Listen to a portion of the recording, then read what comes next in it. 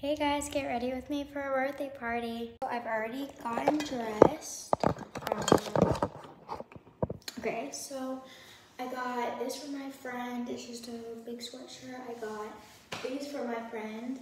And then um, I'm gonna wear my Converse, which I got from Famous Footwear. So I'm just gonna be doing my makeup. Also, my nails, also one fell off, but like, they're cute. Green vibes. So yeah, anyways, I just got this new foundation. Um, I normally get like a darker shade for me because I normally mix it with my moisturizer and my um, sunscreen. I'm gonna go ahead and mix them together. Also, if you didn't like get the part where I said like I mix, like I have to get a darker shade because I mix it with my moisturizer. Well, my moisturizer is like white, so it lightens it. So it's still pretty dark. I'm gonna just try and keep mixing it. Okay, I'm gonna blend it out now. Okay, come back for part two.